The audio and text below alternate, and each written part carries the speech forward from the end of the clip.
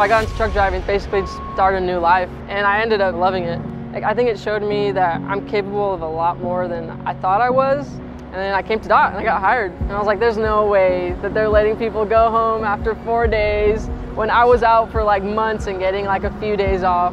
And my first week on my own, I made like four times the amount I made at my last company. So I was like, this is no joke. When my life needed a bigger paycheck, I took the wheel.